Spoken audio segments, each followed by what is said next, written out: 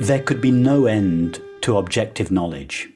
One could never reach certainty in objective knowledge. There would always be something more to know. What, what, what we know now objectively will always be replaced by something else.